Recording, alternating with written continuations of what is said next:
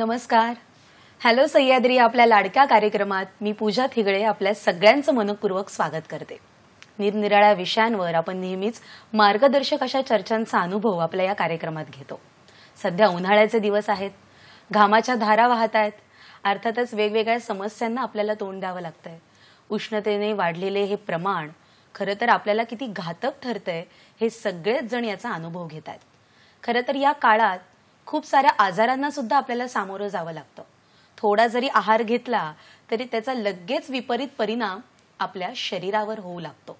या सगळ्यावर आज आपल्याला चर्चा करायची आहे. म्हणूनच आजचा आपला विषय काय आहे ते आपण बघूयात.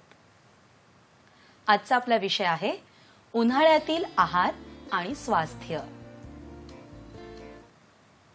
अत्यंत जिव्हाळ्याच्या अशा या विषयावर आज आपल्याशी चर्चा करण्याकरिता आपल्याला आहार तज्ज्ञ म्हणून आजच्या प्रमुख अतिथी लाभल्यात. म्हणजेच डॉक्टर कांचन पटवर्धन. मॅडम मी आपलं मनापासून स्वागत करते. हॅलो सह्याद्रीच्या आजच्या भागात. थँक्यू मॅडमबद्दल थोडासा परिचय करून देते. त्या एक क्लिनिकल डायटिशियन आहेत आणि न्यूट्रिशनिस्ट आहेत. आहार तज्ज्ञ म्हणून त्यांची ओळख संपूर्ण महाराष्ट्रभर आहे. लाईफस्टाईल आणि या लाईफ स्टाईलमधून होणारे डिसऑर्डर्स या संदर्भात त्या खूप मार्गदर्शन करत असतात. डायबिटीस मॅनेजमेंट या संदर्भात त्यांचा दांडगा अनुभव आहे. जीवनशैलीमुळे होणारे आजार आणि त्यावर आहाराचा होणारा परिणाम आणि आहारातून त्या आजारांवर कशा उपाययोजना करता येतील या संदर्भात त्या खूप मार्गदर्शन करत असतात. आहार नियोजन इज अ बेस्ट थेरपी या विषयावर त्या सखोल अभ्यास करतात आणि अर्थातच या विषयावर त्यांचा पंचवीस वर्षाचा दांडगा अनुभव आहे. या माध्यमातूनच दोन हजार वीस साली त्यांना national best health care award याने सन्मानित करण्यात आलंय. आणि आज सुद्धा आपल्याला आहार कसा घ्यावा कधी घ्यावा कोणता घ्यावा आणि उन्हाळ्यात आपली स्वतःची काळजी कशी करावी घ्यावी या सगळ्या विषयांवर आज आपल्याशी त्या चर्चा करणार आहेत. तर सुरुवात करणार आहोत आजच्या विषयाला. खरं तर आहार हा आपल्या महिलांचा किंवा पुरुषांचा एकूण माणूस जातीचा खूप जिव्हाळ्याचा विषय आहे. बरोबर. खूप सारे प्रश्न या बाबतीत पडतात. खरंय. पण उन्हाळ्यात आपल्या शरीरात नेमके काय काय बदल होत असतात? जसे प्रत्येक ऋतूत होतात. तर उन्हाळ्यातील शरीरात होणारे बदल हे नक्की कोणते? सगळ्यात मोठा बदल तर आपल्या डायजेस्टिव्ह सिस्टम म्हणजे आपल्या पाचनशक्तीवरती होतो. आणि त्यामुळे खूप प्रॉब्लेम्स या उन्हाळ्यात येऊ शकतात. आता उन्हाळा आहे म्हटल्यावरती टेम्परेचर जो असतो तो एक पस्तीस डिग्री ते पंचेचाळीस आणि कैकदा अठ्ठेचाळीस पर्यंत सुद्धा जातो. तर हा जो जो टेम्परेचर आहे तो परफेक्ट ग्रोथ म्हणजे बॅक्टेरियाच्या ग्रोथ करता परफेक्ट असतो. तर त्यामुळे आपण जे अन्न खात असतो तर त्यामध्ये खूपदा असं होतं की त्याच्यामध्ये बॅक्टेरियल ग्रोथ निर्माण होते खूप लवकर निर्माण होते. कारण बॅक्टेरियल ग्रोथ करता तो बिलकुल सुटेबल टेम्परेचर आहे. आणि त्यामुळे आपल्याला लगेच म्हणूनच बघा काही आपण जर वरण वगैरे बाहेर ठेवलं तर ते थोडंसं आंबूस त्याच्यामध्ये हो. लगेचच दोन तासात तीन तासात सुद्धा त्याच्यात आंबूस आंबूसपणा येतो आंबूस वास येतो किंवा ते फसफसतं. हो. म्हणजे फर्मेंटेशन बेसिकली त्याच्यात होतं.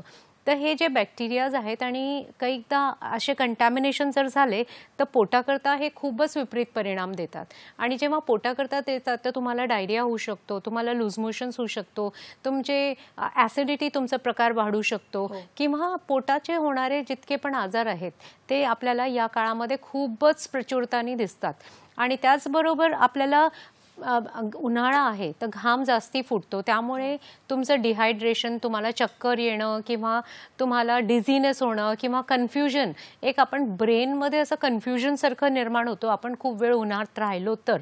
तर त्यामुळे हे असले छोटे छोटे तक्रारी खूप जास्ती आढळतात. हे शरीरात होणारे बदल आहेत पण यासोबतच आहारात सुद्धा खूपदा काही बदल येतात. कारण पाणी आपण खूप प्रमाणात पितो या उन्हाळ्यात. हो. तर इतर ऋतूंच्या तुलनेत आहार जास्त प्रमाणात असावा की कमी प्रमाणात असावा उन्हाळ्यात? हे बघा कसं असतं आहार जास्ती आणि कमीचा नसतो हे तुमच्या प्रकृतीप्रमाणे निर्भर करतं की तुम्ही किती शारीरिक मेहनत करता. आणि जेव्हा आमच्याकडे कोणी येतं तर आम्ही ते कॅल्क्युलेशन्स करतो की तुमची रिक्वायरमेंट किती आहे. म्हणजे तुमचं मेटाबॉलिक रेट त्याच्यावरतून आम्ही ठरवतो की तुम्हाला मेटाबॉलिक रेट आहे तुमचं रेस्टिंग मेटाबॉलिझम किती आहे? आणि त्याच्यावरतून आम्ही ठरवतो की तुम्हाला किती आहार घेतला पाहिजे. आहार म्हणजे काय असतो? म्हणजे आपण जे जेवतोय तेच आहार. पण ते कसं असलं पाहिजे? तर ते याचं स्वा सात्विक असलं पाहिजे हे सगळ्यांना माहिती आहे. किंवा चौरस असला पाहिजे. चौरस म्हणजे त्याच्यामध्ये प्रोटीन्स असले पाहिजे कार्बोहायड्रेट असले पाहिजे विटॅमिन्स पण असले पाहिजे फॅट्स पण असले पाहिजे. तर असा व्यवस्थित एक चौरस आहार आपल्या ज्याच्यामध्ये सगळे प्रकारचे जीवनसत्व आपल्याला मिळतील. असे ते सगळे आपले आहार असले पाहिजे. घटक आणि जीवनसत्व सगळं मिळलं पाहिजे. तर त्याच्याकरता हे तुम्हाला कॅल्क्युलेशन्सची गरज असते. पण आता सगळेच जण कॅल्क्युलेशन करतील अशातलं नाही. तर तुम्ही किती मेहनत करताय आणि किती तुमची तुमची बॉडी किती डिमांड करते? कारण काय असतं ना की मी एक नेहमी सांगत असते की आपली ही जी बॉडी आहे आपलं जे हे शरीर आहे ते देवानी सुपर कम्प्युटरसारखं बनवलेलं आहे. ते तुम्हाला सातत्याने सांगत असतं की तुम्हाला काय गरज आहे. आणि आपण त्याचे ते जे आपल्याला ते जे छोटे छोटे साईन अँड सिग्नल्स असतात ना आपण ते नेग्लेक्ट करतो. आणि त्यामुळे प्रॉब्लेम होतो. तर खरं तुम्ही तुमच्या बॉडीचं ऐका की तुमची बॉडी कशी डिमांड करते. जर तुम्हाला गिडीनेस होत असेल तर नक्कीच तुम्ही बघा की तुमचं अति घामामुळे तुमचं बीपी तर नाही लो होते किंवा अति उन्हाळ्यामुळे तुमचं तुमचं डोकं दुखतंय तर तुमचं बीपी तर शूट होत नाहीये. तर हे सगळ्या गोष्टी आहेत की तुम्हाला छोटे छोटे सिग्नल्स आपल्या बॉडीला प्रत्येक बॉडी देत असते. आपल्याला त्याला लक्षात करून आणि त्या हिशोबाने आपला आहार ठरवायचा असतो. खूपदा असं होतं की शरीर आपल्याला ती एक सूचना देत असते. बरोबर. अगदी म्हणजे अन्न अडकलं की शिंक येते. बरोबर. खोकला येतो आपल्याला. हो हो किंवा आपल्याला तहान लागली तर उचकी लागते. उचकी लागते. या सगळ्या गोष्टी आपल्याला शरीर सूचना देत असतं पण आपण त्याच्याकडे बहुधा वेळा थोडं दुर्लक्ष आपलं तोंड सुकतं आपल्याला घामोळ्या फुटतात किंवा तोंडामध्ये छाले सुद्धा येतात जर आपलं पोट गडबडलेलं असेल तर. आणि पोट भरलेलं असेल तर ढेकर पण ढेकरा येतात ढेकरा येतात. ते या सगळ्या गोष्टी असतात की त्या तुम्हाला म्हणजे स्वतःकडे सूचना ज्या आहेत त्याचे लक्ष देऊन ऐकायचं असतं. आणि आपण बऱ्याचदा काय करतात जसं आता मी पण आई आहे पण आपल्या सगळ्यांनाच असं वाटतं की आपल्या मुलांनी सगळ्यांनी भरपूर जेवावं. हो. तर त्यांना भूक असो नसो आपण नाही इतकं खायचंच आहे इतकं खायचंच आहे. तर ते सध्या शक्यतो ते टाळावं. आणि जितकी भूक असेल प्रत्येक माणसानी तेवढंच आहार घ्यावा. नक्की. उन्हाळ्याचे खूप सारे परिणाम आपल्या शरीरावर होत असतात आणि आहार हा त्याच्यातला खूप मुख्य घटक आहे. बरोबर. आणि त्याचबरोबर उन्हाळ्यात अजून एक घटक खूप महत्त्वाचा मानला जातो तो म्हणजे क्षणाक्षणाला आपल्याला तहान लागते. आपल्याला पाणी प्यावंसं वाटतं. थंडच पाणी पिणं हा त्याच्यावर एक आपण उपाय ठरून टाकतो आणि ते पितो आपण थंड पाणी. भरपूर प्रमाणात पितो. पण पाणी नक्की किती कसं आणि कधी प्यावं? हा खूपच चांगला प्रश्न आहे आणि हा सारखे लोक विचारतात की काही त्याची मोजमाप आहे का? हो. तर खरं मोजमाप डेफिनेटली त्याचा पण एक कॅल्क्युलेशन आहे. पण सध्या उन्हाळ्यात मोजमाप न करता आपण पुन्हा मी तेच सांगेन आहे की आपल्या आपल्या शरीराला किती लागतं? म्हणजे आता तुम्ही जर तुम्ही एक्सरसाइज करताय तर मग तुम्हाला एक्स्ट्रा पाण्याची गरज आहे. हो. तेव्हा तुम्ही नक्कीच ते पाणी प्या. आणि त्या पाणीमध्ये जेव्हा तुम्ही एक्सरसाइज करत असता तेव्हा तुम्हाला घाम सुद्धा फुटतो. आणि घाम फुटला की तुमचे इलेक्ट्रोलाइट्स म्हणजे तुमचे सॉल्ट कमी होतो शरीरामध्ये. तर त्याच्यानंतर तुम्हाला जर ते एक शरीरामध्ये डिझिनेस नको यायला तुमचं ब्लड प्रेशर लो नको व्हायला म्हणून कैकदा त्याच्यात आम्ही काय सजेस्ट करतो की तुम्ही पाणी तर प्या त्याचबरोबर जर एक साधारण घरेलू इलाज आहे आपला की तुम्हाला जर गिडीनेस किंवा असं वाटत असेल तर थोडंसं एक चमचा पूर्ण एक लिटर बॉटलमध्ये एक चमचा साखर आणि किंचित मीठ हे असं टाकून आणि थोडंसं लिंबू. असं हे टाकून जर तुम्ही त्याला सेप सेप करून तुम्ही पित राहिलात म्हणजे जेव्हा पण तुम्ही एक्सरसाइज करताय किंवा तुम्ही ट्रॅकिंगवरती जाताय किंवा तुम्ही कोणतीही शारीरिक मेहनत करताय आणि बाहेर उन्हात असाल तर तुम्ही हे असं पाणी कंटिन्युअस पित राहा. पण एवढंच आहे की साखरेचं प्रमाण खूप एक चमचा म्हणजे ती मोठा चमचा नव्हे तर ते छोटा चमचा.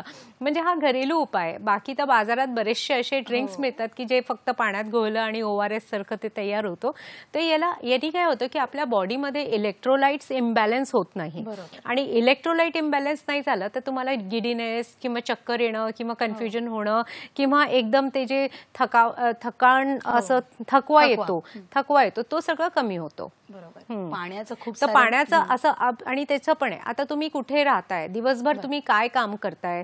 तुम्ही जर खूपच उन्हाळा म्हणजे खूप जिथे उन्हाळा जास्ती आहे पंचेचाळीस डिग्रीच्या वरती टेम्परेचर टेम्परेचर आहे आणि तुम्ही बाहेर फिरताय तर नक्कीच तुम्हाला पाणी जास्ती प्यायला हवं.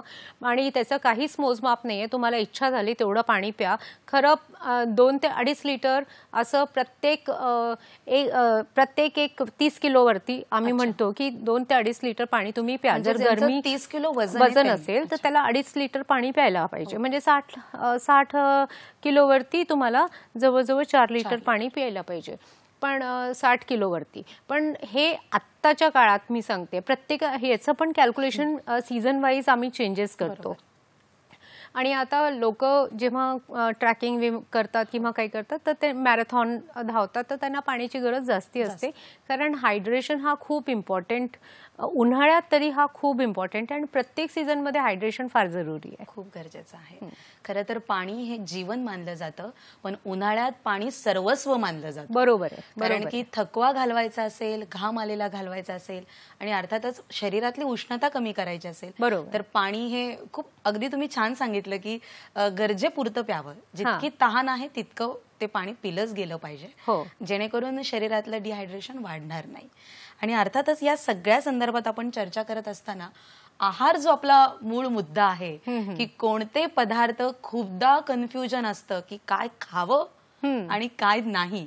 हो. तर मी पहिला प्रश्न हा विचारेल की काय खावं? आणि मग आपण बोलूयात की काय नको खाऊया हो. खूप चांगला हा तर ने- नक्कीच हा प्रश्न आहे. पण मी एक पाण्याबद्दल अजून एक सांगू इच्छिते पूजा की जेव्हा आपण जेवतो आता आहाराचा आला तर जेव्हा आपण जेवतो तर तेव्हा आपल्याला जेवणाबरोबर खूप पाणी नको प्यायला. पण अगदीच तुम्ही भाजीपोळी खात असाल तर तेव्हा तुम्ही भाजीपोळीबरोबर तुम्ही ताक घेऊ शकता. एकदा लोक टिफिनमध्ये घेऊन जातात तर नुसतं वरण वगैरे नसतं. तर असं रसभशीत करायला तेव्हा ताक वगैरे तुम्ही नक्कीच घ्यावा. आणि क- आता आहारमध्ये काय काय घ्यावं? तर आहारमध्ये सगळ्यात पहिले तर तुम्हाला इझिली डायजेस्टेबल फूड म्हणजे पाचनशक्तीला आपला त्रास न देता असे काय काय पदार्थ आहेत ते तुम्ही घेऊ शकता. नक्की आहारामध्ये तुम्ही दही ताक अ, कोकम सरबत. अच्छा कोकम सरबतचं मी नेहमी इथे सांगत असते की तुम्ही कोणताही कोकम सरबत वापरता पण ते प्रिझर्वेटिव्ह वाला कोकम सरबत न वापरता तुम्ही घरी करून पिऊ शकता. असे कितीतरी पेय पदार्थ आहेत की जे तुम्ही घरी ताजं करून तुम्हाला पिता येतं. तर हे घेऊ शकता. अच्छा खूप सगळी प्रकारची फळं. आता भरपूर फळं येतात ते कलिंगड येतात ते खरबूज येतोय तरबूज येतोय आपले चिकू येतात ते. तर असे भरपूर जे सीझनल फ्रुट्स आहेत तुम्हाला जे मिळत असतील आणि ते खा. आणि भाज्यांमध्ये मी नेहमी सांगत असते की त्या ज्या वेलीवरच्या भाज्या असतात अच्छा. वेलीवरच्या भाज्या म्हणजे कोणत्या आपल्या? म्हणजे ज्या वेलीला लागतात आणि त्याच्यामध्ये पाणी पाणी भरपूर असतो. म्हणजे आपली दुधी झाली दुधी भोपळा झाला पिवळा भोपळा झाला एक कोहळा म्हणतो आपण ऍश कॉट ज्याला म्हणतो तो झाला. मग अशाच प्रकारचे जितके पण वेलीवरच्या भाजी आहेत ते जर तुम्ही जास्तीत जास्ती खाल्लं तर ते पोटाला खूप थंडावा देतो आणि खूप इझिली डायजेस्टेबल असतं. आणि एक मुख्य आहे की उन्हाळ्यात तुम्हाला स्वतःला स्वस्थ ठेवायचं आहे तर तुमचं आपला गट हेल्थ आपल्याला बरोबर ठेवायचं आहे तुमचं पोट जर स्वच्छ असेल आणि सगळं असेल तर तुम्ही अजिबात तुम्हाला काही उन्हाळाभर तुम्हाला काही त्रास होणार नाही. तर म्हणून गट हेल्थ ठीक ठेवण्यासाठी या सगळ्या भाज्याचा समावेश करायचंच आहे. त्याचबरोबर तुम्हाला काही कडधान्य आहेत ते तुम्ही खाऊ शकता. मूग मटकी अशा प्रकारचे कडधान्य तुम्ही खाऊ शकता. खूप गरिष्ठ पदार्थ. आता आपण नेक्स्ट याच्यावरती की गरिष्ठ पदार्थ ते आपल्याला टाळायला पाहिजे. पोळ्यांमध्ये ज्वारीची पोळी ही खूप छान असते मानली जाते. ते पोटाला थंड पण करतं. तर तुम्ही ज्वारीची पोळी सुद्धा तुम्ही करून खाऊ शकता. भात तुम्ही खाऊ शकता कारण भात पण हा इझिली डायजेस्टेबल असतो. तर त्यामुळे त्यामुळे तुम्ही तसं खाऊ शकता. बरोबर. अगदी या सगळ्या विषयांवर आपल्याला बोलायचं आणि काय टाळायचं यावर पण आपल्याला मुख्यतः बोलायचंय. पण कार्यक्रमामध्ये वेळ झाली एका फोन कॉलची. आपल्याकडे एक फोन आलाय. शिवानंद वसेदार बोलतायत आपल्याशी निपाणीवरून. नमस्कार. नमस्कार मॅडम. निपाणी शिवानंद वशर बोलतोय मी. नमस्कार. जसं एक नाणीला दोन्ही बाजू असतात तशा प्रकारे माणसाचे शरीर एकच असतो. पण शरीरामध्ये सुद्धा काही जाड लोक असतात काही बारीक लोक असतात. पण काही लोकांना असं असतं की नाही जे लोक व्यक्ती जाड आहेत त्यांनी म्हणतात की मला आता वजन कमी करायचं आहे डायबिटीज कसं कमी करायचं आहे खाणं कमी करायचं असं म्हणून त्यांनी पूर्ण तर त्याचं जेवण खाण्याकडे दुर्लक्ष करून त्यांनी पूर्ण वजन कमी करण्यासाठी प्रयत्न करत असतात. पण काही लोक सुद्धा अशी आहेत जी बारीक असतात. आणि त्यांना हे वाटतं की आम्ही जसं जाड व्हायला पाहिजे बारीक असल्यामुळे सुद्धा प्रॉब्लेम होतो असं म्हणतात. पण माझं म्हणणं असं आहे की दोन्ही व्यक्ती बी जाड होण्यासाठी असू दे किंवा बारीक होण्यासाठी असू दे ते आरोग्य सुधारण्यासाठी त्यांनी जेवणातच दुर्लक्ष करतात. म्हणजे जास्त जेवू नये असं म्हणतात काही लोक जेवावे म्हणतात. त्याच्यामुळे आरोग्यावर सुद्धा परिणाम होऊ शकतोय काय? आणि मग त्यातल्या लोकांना तुम्ही काय मार्गदर्शन कराल? की जेवण बरोबर आहे का नाही? किंवा कोणत्या वेळी जेवायला पाहिजे? काय जेवायला पाहिजे? आणि त्यासाठी आरोग्याकडे लक्ष कसे द्यायला पाहिजे? नक्की नक्की नक्की. मला वाटतं खूप कन्फ्युजन आहे या सगळ्या बाबतीत. हो. आपण सविस्तर यावर बोलूयात. पण कार्यक्रमामध्ये वेळ झाली एका छोट्याशा विश्रांतीची. तुम्ही कुठेही जाऊ नका. बघत राहा. हॅलो सह्याद्री.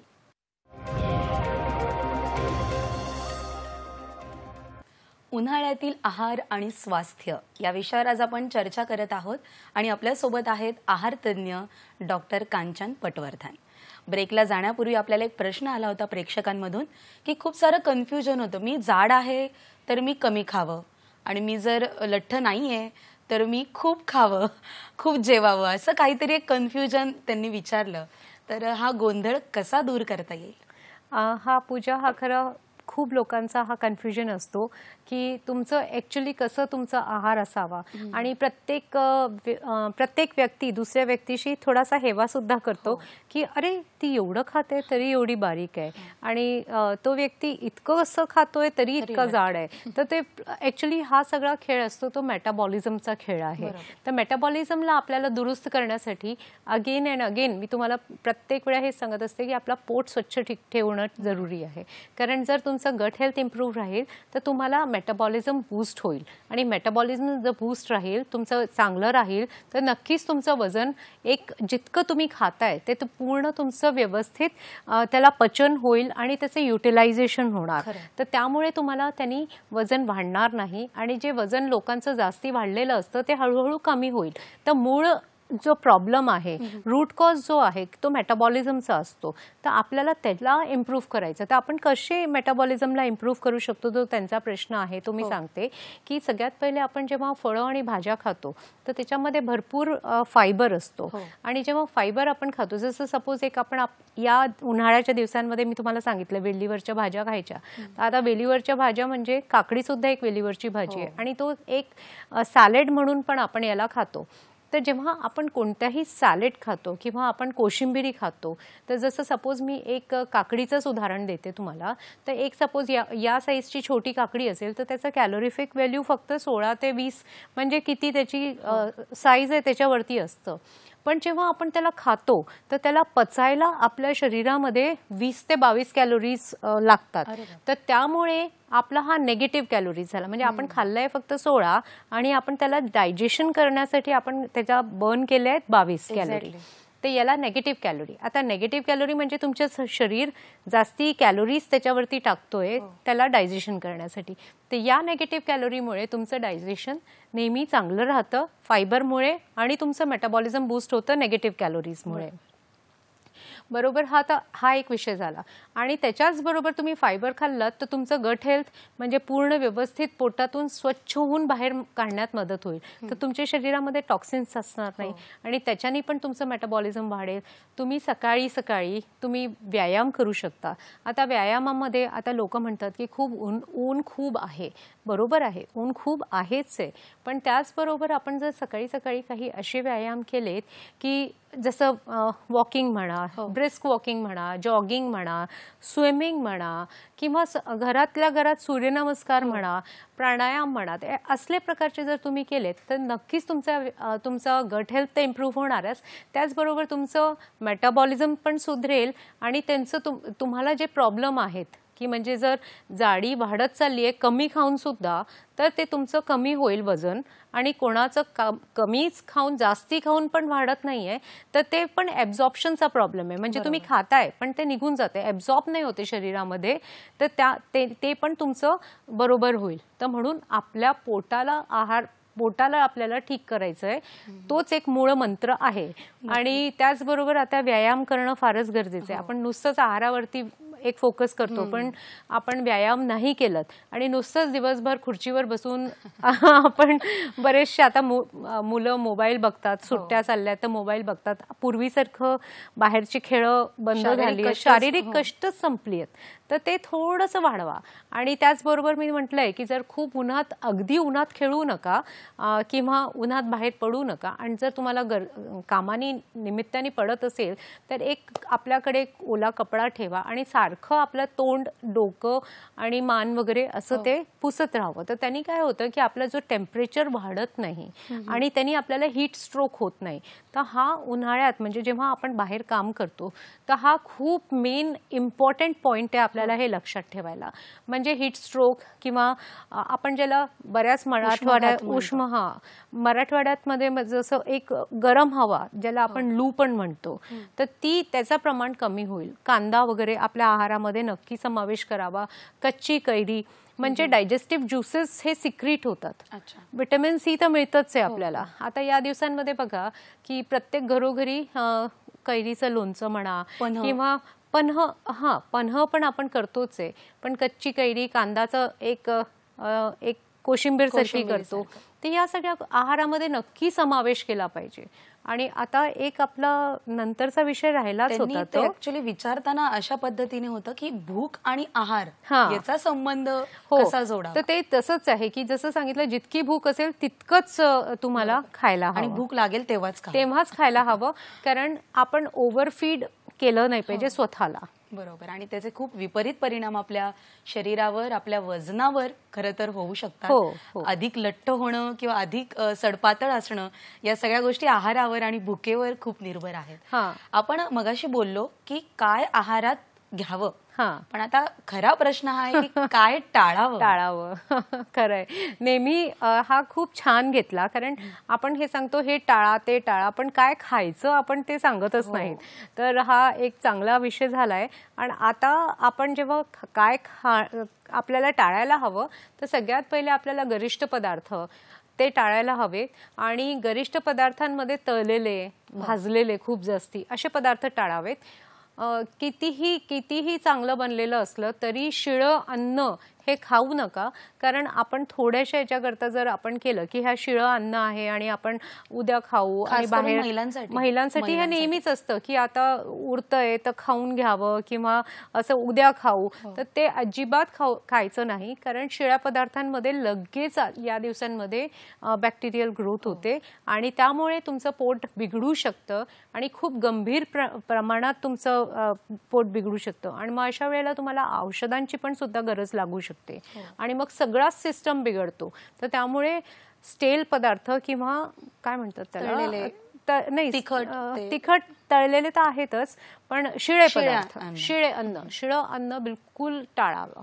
नक्की. हे खूप महत्वाचं आहे आणि खास करून घरातल्या गृहिणींसाठी की आपण आदल्या दिवशी राहिलेली थोडी भाकरी लगेच दुसऱ्या दिवशी सकाळी ताटात घेतो आणि. त्याचे खूप वाईट परिणाम आणि जर आपल्याला. जर हं आता काही अन्न हे परब्रह्म हे सगळ्यांनाच माहिती आपण खूप अन्न उरलेलं असेल आणि आपल्याला असं वाटतच असेल की नाही हे चांगलं आहे आणि आपल्याला खायचंय तर मी अशा वेळेला त्यांना सांगेन की तुम्ही तसं आता भाजी उरली आहे तर त्याची त्याला पुन्हा काहीतरी मिक्स करून आणि त्याचे थालीपीठ वगैरे करा.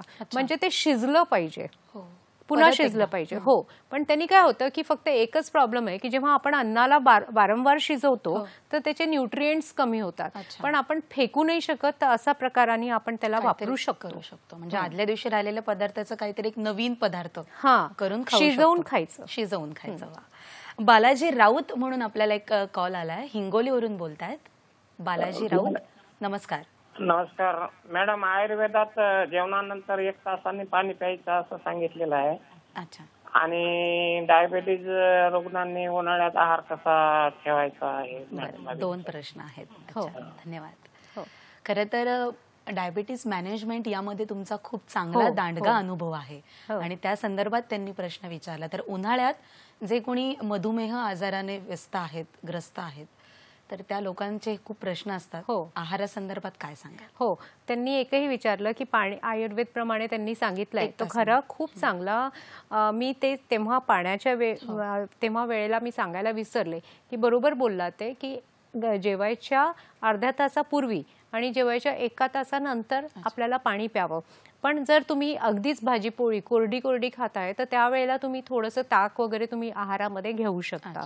आणि बऱ्याचदा डब्यात डब्यात फक्त पोळी भाजी नेतात तर हो. त्यावेळेला कोरडं कोरडं न खाता मग काहीतरी वरण किंवा आमटी किंवा ताक असं काहीतरी तुम्ही घेतलं पाहिजे. आणि पाणी मात्र एका तासानंतरच प्यायला पाहिजे. म्हणजे जेणेकरून डायजेशन सिस्टीम सिस्टम. हो हो हो.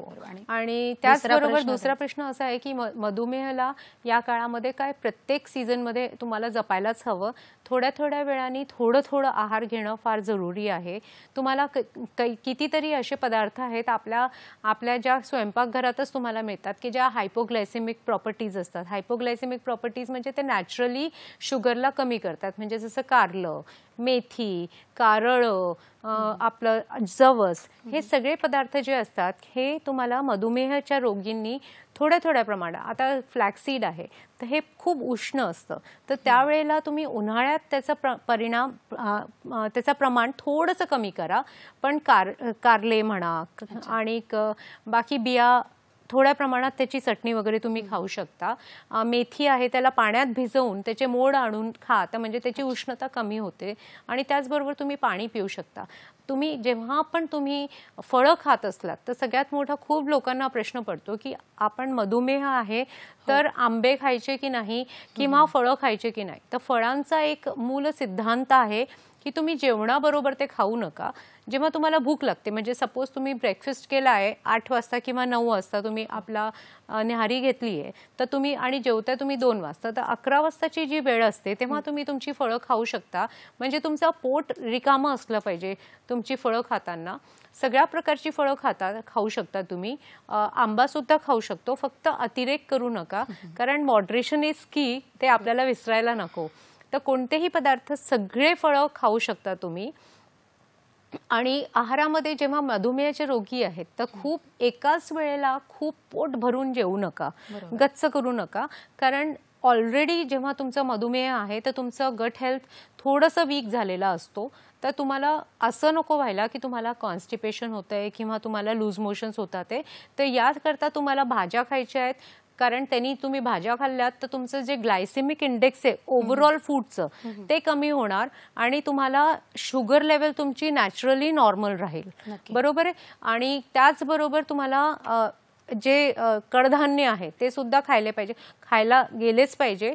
आणि नॉनव्हेजचा जो प्रकार आहे तो पण तुम्ही खाऊ शकता पण प्रमाणात खा. म्हणजे रात्री न खाता तुम्ही दिवसा खाऊ शकता. आणि इझिली डायजेस्टेबल जसं फिश आहे किंवा चिकन पण जर तुम्ही ते ग्रेव्हीमध्ये पण खूप मसालेवाली ग्रेव्ही न करता नॉर्मल तुम्ही असं करून खाल्लात तर तुम्ही चालू शकतं. आणि वरण आमटी वगैरे तर आहेच आहे. भाताचं प्रमाण डायबिटीज लोकांना असं खूप नेहमीच वाटत असतं की भात खायचा की नाही खायचा. तर मी याच्याकरता नेहमी सांगत असते की तुम्ही भात खाऊ शकता हात चढीचा भात तुम्ही खाऊ शकता फक्त एवढंच करा की आपल्याला भातातला कार्बोहायड्रेट नको आहे. तर आपण जेव्हा आपण शिजवतो त्याला तर कुकरमध्ये न शिजवता त्याला पातेलीत काढून आणि त्याचा स्टार्च काढून द्यायचा. कारण तसंही भात जेव्हा शिजतो तेव्हा त्याचे विटॅमिन्स जे आहेत ते खूप कमी होऊन होऊनच जातं. कारण ते वॉटर सॉल्युबल विटॅमिन्स आहेत. तर मग अशा वेळेला ती पेच काढून टाकायची आणि तो भात जर तुम्ही प्रोटीन्स बरोबर म्हणजे तुमची आमटी आहे तुमचे कडधान्य आहेत किंवा तुमची फिश आहे याच्याबरोबर खाल्लात तर तुमची शुगर लेवल नाही वाढणार. तर असं आपल्याला एक बेसिकली ग्लायसेमिक इंडेक्स असं नॉर्मल ठेवून आणि मग आहारावरती आपण फोकस करून आणि नियोजन करून केलं तर तुमचं नक्कीच डायबिटीज कंट्रोलमध्ये राहील. नक्कीच. आहाराचं नियोजन डायबेटिक पेशंटसाठी कसं असावं मला वाटतं या संदर्भात ए टू झेड माहिती मला वाटतं एवढ्या छोट्या वेळामध्ये थोड्याशा वेळामध्ये मॅडमनी या ठिकाणी दिली. अजून खूप काही जाणून घ्यायचं आहे पण वेळ झाली आहे एका विश्रांतीची.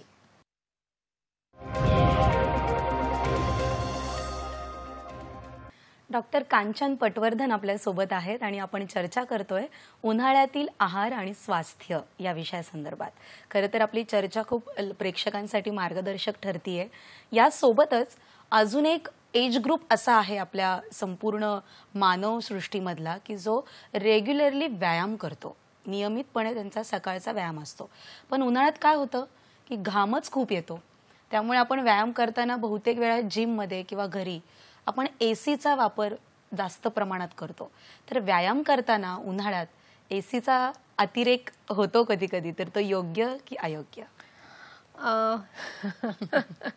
म्हणजे मला सुद्धा ए सीमध्येच जिम करायला आवडेल. पण खरं असं आहे की काय असतं की जेव्हा आपण घाम काढायला व्यायाम करत असतो आणि जेव्हा आपण एक बंद एन्व्हायरमेंटमध्ये एक अ, बरेच लोक एकाच ह्याच्यात अ, बंदिस्त खोलीत हा एका बरोबर. तर त्याच्यात आपण ते व्यायाम करत असतात. तर सगळ्यात मोठा तोटा काय असतो की आपण ऑक्सिजन घेतो आणि कार्बन डायऑक्साईड सोडत असतो. तर त्या त्याच्यामध्ये काही सर्क्युलेशन नसल्यामुळे ऑक्स कार्बन डायऑक्साईडचं प्रमाण त्याच्यात वाढतो. आणि त्यामुळे आपल्या ॲक्च्युली जेव्हा आपण ए सीमध्ये राहतो आणि जेव्हा जिम करतो तर लवकर थकवा येतो. पण जेव्हा आपण बाहेर करतो तर तेव्हा तुम्ही तुमचं लिक मी जसं सांगितलं तुम्हाला पाणी आणि इलेक्ट्रोलाइट इम्बॅलन्सला नॉर्मल ठेवण्यासाठी त्याच्यात थोडंसं मीठ आणि साखर टाकून ते तसं तुम्ही किंवा गुळ पण टाकू शकता तुम्ही साखरेच्या ऐवजी. आणि तसं तुम्ही लिंबू पाणी ते पि पित राहिलात तर तुम्हाला घाम येईल नॅचरली पण तुम्हाला फ्रेश एअर म्हणजे ऑक्सिजन सुद्धा मिळेल.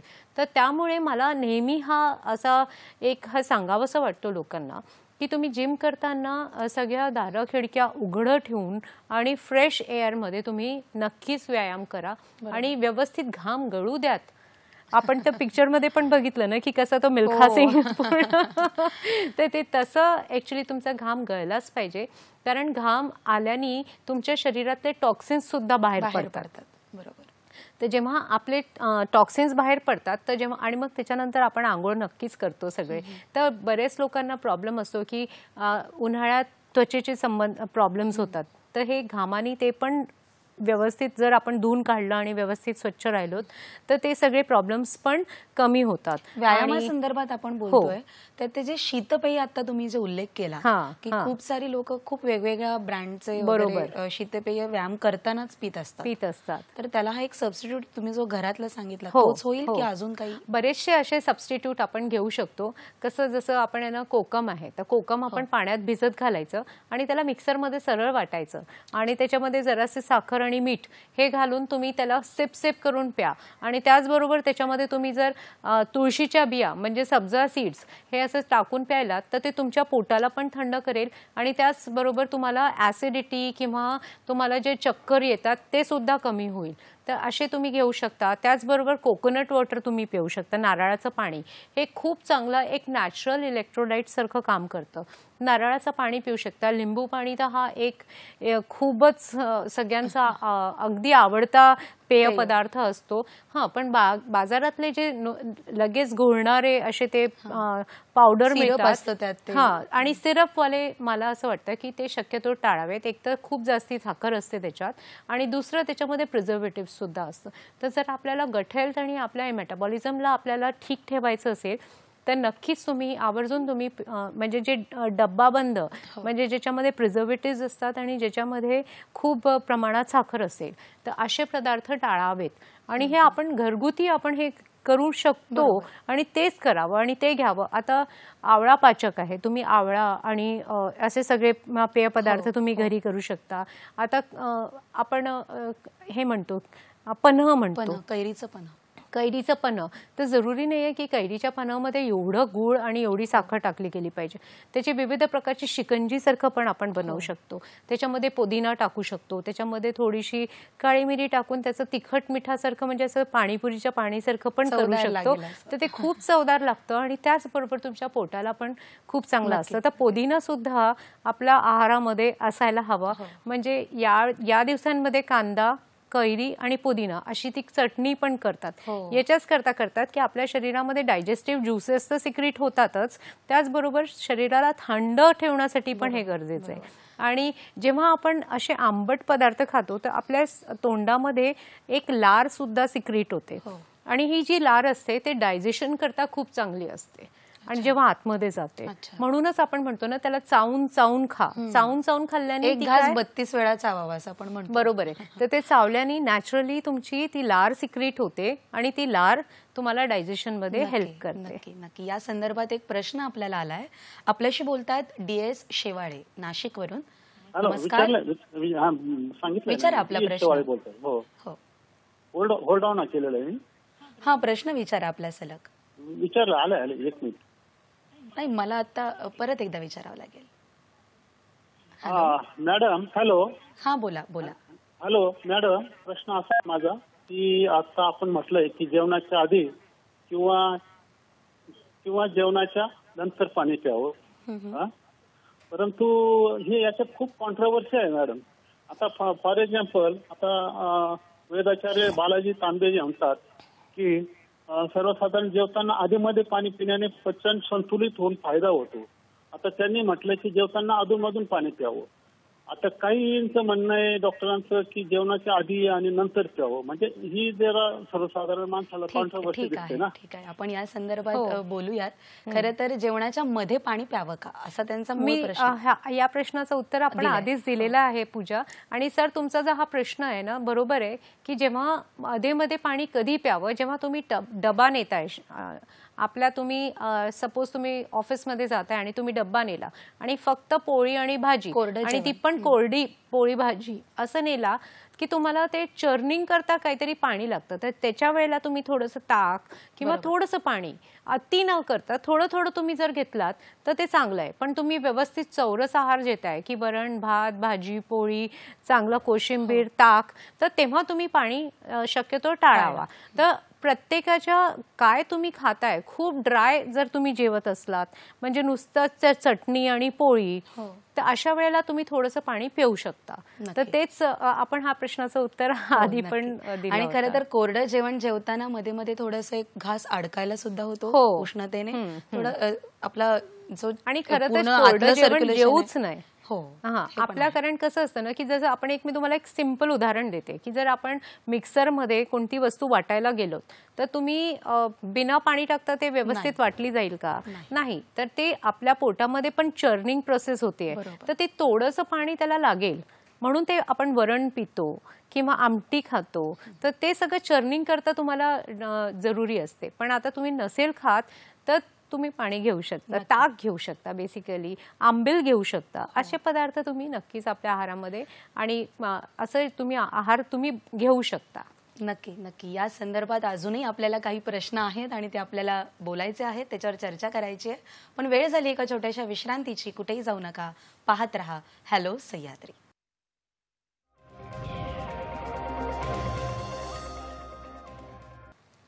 उन्हाळ्यातील आहार आणि स्वास्थ्य या विषयावर आपण आज चर्चा करतोय. डॉक्टर कांचन पटवर्धन आपल्यासोबत आहेत. खरं तर खूप प्रश्नांवर आपण उत्तरं देता देता बऱ्याचशा गोष्टींना स्पर्श केलाय. एक मगाशी स्पर्श आपण असा केला की त्वचेसंदर्भात तर उन्हाळ्यात बहुधा ड्राय पडते खूप स्किन हो. किंवा त्वचेची काळजी नेमकी कशी घ्यावी? या संदर्भात काय सांगाल? सगळ्यात पहिले तर पुन्हा हा त्वचा सगळ्यांकरताच महत्वाची असते कारण जे समोरच सगळं दिसत असतं हो. आणि तुमची जी स्किन असते ती तुमच्या इंटरनल हेल्थची च रिफ्लेक्शन हो, असतं. हो. तर त्याकरता आपण सगळ्यात पहिले तर पाणी पिणं फार महत्वाचं आहे. दुसरं त्वचेच्या आपल्या काळजी करण्यासाठी कारण आता उन्हाळा आहे तर ड्रायनेस येते. हो. त्याचबरोबर आपल्याला आपल्या शरीरामध्ये फळं आणि भाज्या यांचा समावेश भरपूर केला पाहिजे. म्हणजे फळं भाज्या म्हणजे आपण नुसतं आंबा न खाता बरेचसे दुसरे फळं आहेत. जसे सिट्रस फ्रुट्स आहेत संत्रा आहे मोसंबी आहे. तर याच्यातला जो व्हिटॅमिन सी असतो तो आप बऱ्याचदा आपण जेव्हा उन्हात जातो तर तेव्हा सन बर्न होतो. तर व्हिटॅमिन सी मुळे ते सनबर्नचा इफेक्ट कमी होतो. बरोबर. तर म्हणून आपल्याला व्हिटॅमिन सी युक्त पदार्थ लिंबू पाणी म्हणा कोकम अ, पाणी म्हणा हे सगळं घेणं गरजेचं आहे. म्हणजे व्हिटॅमिन सी जर घेतलं तर तुम्हाला सन बर्न हे कमी होणार आणि त्याचबरोबर छोटे छोटे बरेचसे प्रॉब्लेम्स येतात. जसं बऱ्याचदा पुरळ अ, शरीर स्किनवरती येतात आणि घामोळ्या फुटतात. तर हे सगळे प्रकार पण जर तुम्हाला कमी कर म्हणजे होत असले तर अशा वेळेला तुम्ही पाणी पिणं गरजेचं आहे काकडी खाणं गरजेचं आहे. तुम्ही आपल्या शरीरावरती अलोवेरा लावू शकता. ते एक थंड पदार्थासारखं काम करू शकता. पाणी भरपूर प्या आणि जितने जितके टॉक्सिन्स तुमच्या शरीरामधनं बाहेर काढू शकता तितके काढा. म्हणजे तुमचा गट हेल्थ इम्प्रूव्ह होईल तर तुमची स्किन ऑटोमॅटिकली ग्लो होईल. आता स्किन ड्रायनेस करता बऱ्याचदा काय होतं की आपण व्हिटॅमिन ईची पण गरज असते. तर ही व्हिटॅमिन ई आपल्याला कशातून मिळे- मिळेल? तर ते आपल्या बियांमधनं मिळू शकते. तर बिया म्हणजे कोणत्या? आपले सनफ्लावर सीड्स आहे आपले कलिंगडच्या बिया आहेत मग आपले हे अंजीरच्या बिया आहेत याच्यातनं आपल्याला मिळू शकतं. तर हे थोड्या प्रमाणात तुम्ही खाऊ शकता. आणि याच्याच बरोबर व्हिटॅमिन ई आपल्या स्प्राउट्समध्ये सुद्धा जेव्हा स्प्राउट्स होतात म्हणजे जेव्हा अंकुरण होतं तेव्हा मध्ये त्याच्यामध्ये व्हिटॅमिन ई हे प्रमाण वाढतं. तर असे पदार्थ जर तुम्ही खाल्लं तर एक तर तुम्हाला इझिली डायजेस्टेबल म्हणजे आपलं डायजेशन सुधारतं आणि त्याचबरोबर आपलं व्हिटॅमिन ई सुद्धा मिळतं. आणि जेव्हा व्हिटॅमिन ई मिळेल तर तुमची स्किनमध्ये इलॅस्टिसिटी राहील. आणि इलॅस्टिसिटी राहिल्याबरोबर आणखीन तुमचा ग्लो पण येईल. आणि टॉक्सिन्स काढण्यासाठी पाणी पिणं विसरू नका. घाम गळलाच पाहिजे. एक्सरसाइज करा. बघ त्याच्यानंतर तुम्ही बघा की तुमची स्किन काय ग्लो करेल. नॅचरली ग्लो करेल. तुम्हाला मेकअपची सुद्धा गरज भासणार नाही. नक्की नक्की. आणि म्हणून पाणी हे सगळ्यावर रामबाण उपाय आपण रामबाण. उन्हाळ्यात पाणी हे जीवन आहे. खरंय खरंय. आणि अजून एक प्रश्न खरं तर जाणवतो. मोस्टली लहान मुलांमध्ये. हो. खूप वेळा असं होतं की घोळणा फुटतो. म्हणजे ज्याला आपण नाकातनं रक्त. येतं किंवा तोंड येतं हा. अति उष्णतेने घाम घामामुळे पुरळ येते जसं तुम्ही आता म्हणालात फोड येतात. बरोबर.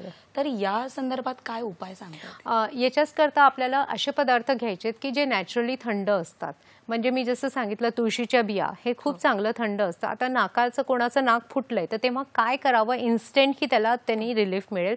तर सगळ्यात पहिले थंड पाणी घेऊन त्याच्या अंगावरती पट्ट्या ठेवाव्यात.